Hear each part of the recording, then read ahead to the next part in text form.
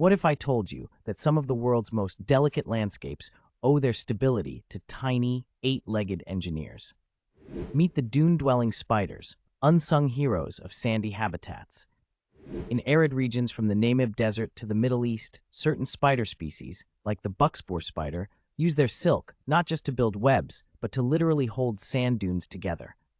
These spiders anchor their silk threads deep into the loose sand, creating a mesh that binds grains and prevents wind erosion.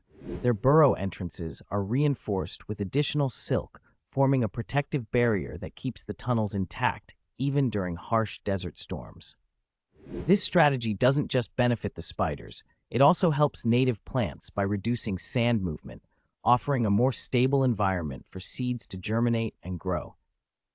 Researchers have found that in areas with active spider populations, dune surfaces are noticeably less prone to shifting, which helps maintain the fragile desert ecosystem.